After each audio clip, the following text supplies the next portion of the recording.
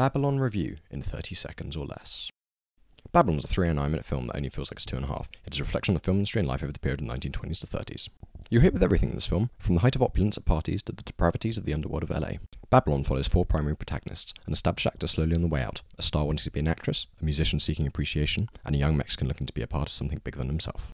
This film takes you on unexpected emotional turns, will make you laugh and potentially even cry.